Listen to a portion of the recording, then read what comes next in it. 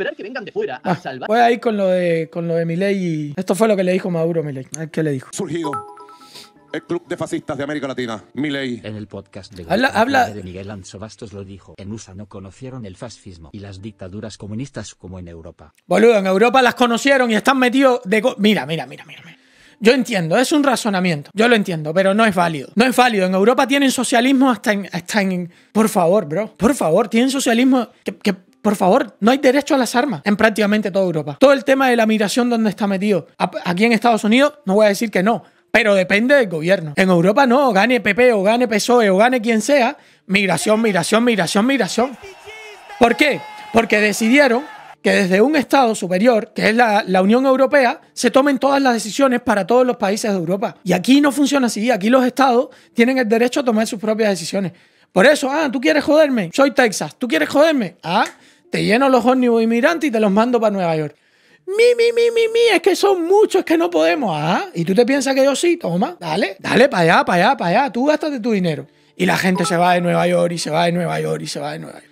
Ah, sí, papi. No entendiste, en USA no hubo dictaduras como en Europa porque había armas. Oh, ya, ya entendí tu punto. Bueno, en ese sentido, en ese sentido, si fue ese el que le quiso dar Miguel Ancho Bastos, que no, no lo entendí, ok, perfecto. En ese sentido sí. Eso lo escuché hoy. Pienso igual que tú. Como haya una intervención extranjera, va a ser peor porque se podrán validar moralmente. Claro, ya ahí se valían moralmente y listo. Bueno, vamos con esto. Y a Milei le digo, Milei, no me aguantas un round, bicho cobarde, bicho cobarde, traidor a la patria, no me aguantas un round. de Maduro por las elecciones sin violencia y dice que confía en los resultados pese a que él se quejó de fraude electoral en el 2006 y 2012. Claro, boludo, es, es izquierda, boludo. Es izquierda. ¿Qué, ¿Qué espera? Es lo que te estoy diciendo. La izquierda es capaz de validar prácticamente cualquier cosa. La izquierda es capaz de validar lo que venga, lo que venga. La derecha no es así, no funciona así. Mira ahora mismo Trump con Bukele peleado, aunque Bukele no es, para mi gusto, no es derecha, pero bueno, no, funcionan igual. ¿Por qué? Porque los principios son otros. La izquierda va toda junta a una. Y siempre es delincuencia, siempre es robo, asesinato. No importa, ellos lo justifican.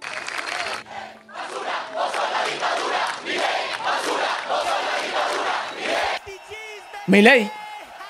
Mira, esta gente se robaron las elecciones y aún así sacaron un porcentaje más bajo que el que sacó Milei en Argentina. Escuchen lo que estoy diciendo. Esta gente se robaron las elecciones y sacaron un porcentaje más bajo, 51,2%, que el que Milei sacó en las elecciones de Argentina. Y sin embargo, la izquierda tiene la cara tan dura de decir que Milei es la dictadura. ¿Por qué? Porque es la izquierda. Ellos tienen la cara dura de decir ese tipo de cosas. Es la izquierda, boludo, es así.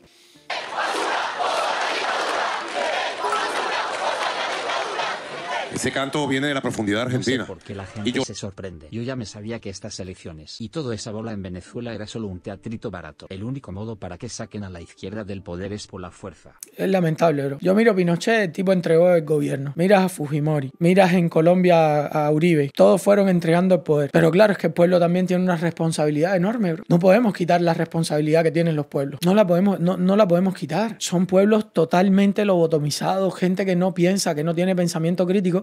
Y que cuando yo les digo algo, ¿ustedes recuerdan las protestas en Colombia? Al principio estaba optimista cuando vi que todas Mira. las bocas de urnas le estaban dando porcentajes aplastantes a la oposición. Más del 70%. Pero cuando vi al jefe de campaña de Maduro haciendo sonrisas. Y de la nada también sale el ministro de Defensa haciendo el discurso cliché de que No, todo fíjate es culpa del imperialismo yanqui. Ahí volví a la realidad y dije Claro, que esto claro. Es así. ¿Cuántos amigos yo no tengo? Youtubers, de todo tipo. ¿Cuántos no tengo? Petro no, mi brother. Papi, Petro no, por lo que más tú quieras.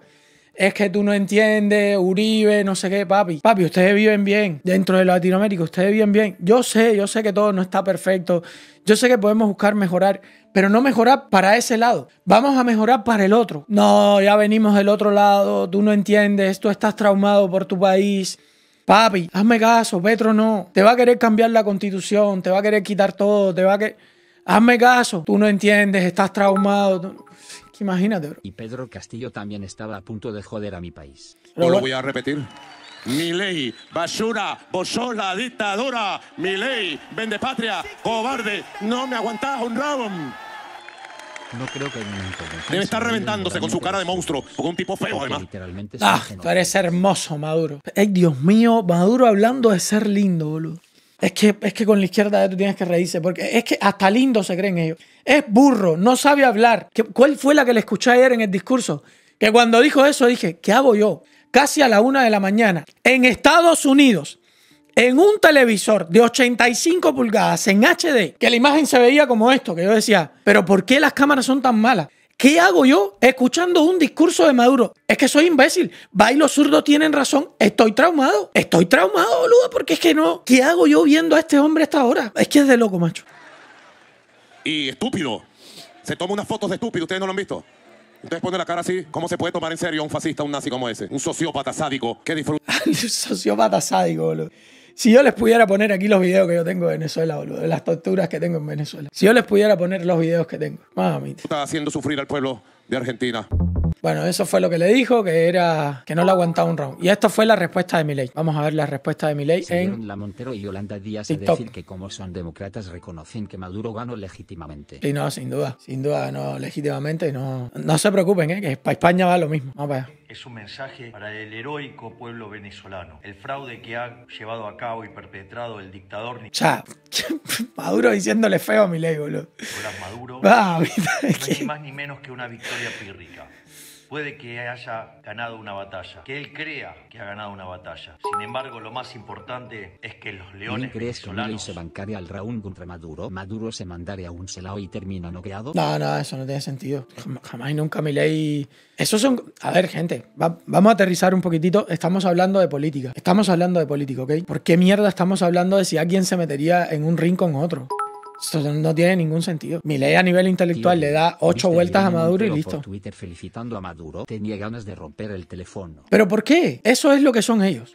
O sea, dinero de Montero, de Pablo Iglesias y de esa gente, a mí no me extraña Hasta absolutamente nada. Los dictadores africanos me parece con más cabeza que Maduro. O sea, la izquierda española, se los vengo diciendo desde hace años, pero Green está traumado.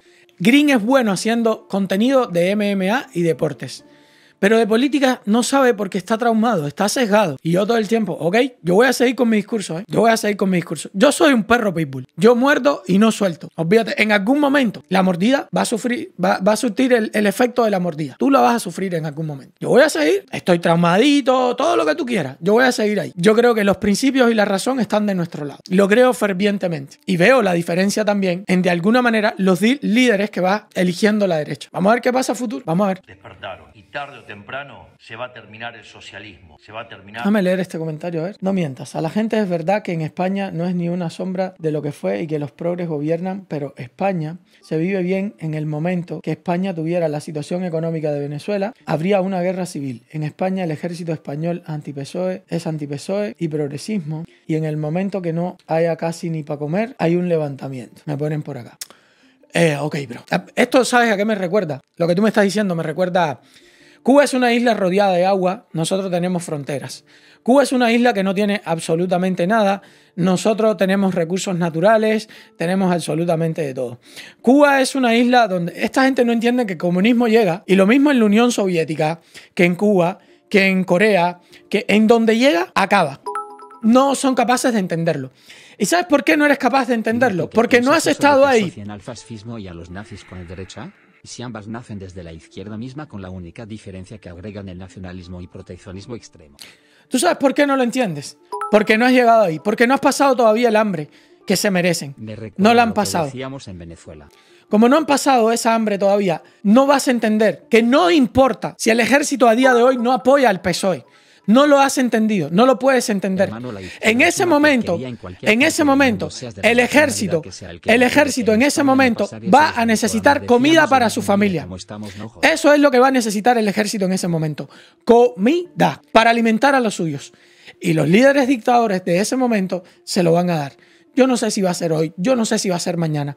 Porque yo para mí no estoy viendo solamente España, yo estoy viendo la comunidad europea entera. Yo estoy viendo que cuando voy a España, supuestamente te venden el discurso de que es que el taxista tiene que existir porque el Uber le está robando el trabajo, entonces tenemos que reprimir a la empresa mala, Uber, y tú te quedas así, tú dices, a ver, a ver si yo entendí.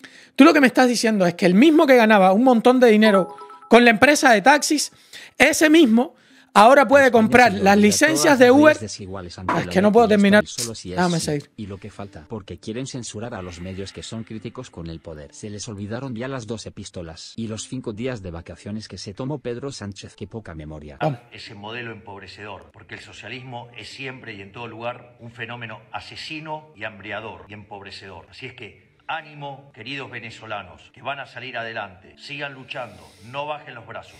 ¡Viva la libertad, carajo! Bueno, Milei no le respondió a Maduro como debe de ser. Al imbécil no se le hace caso. Y ya está. Al imbécil no se le hace caso.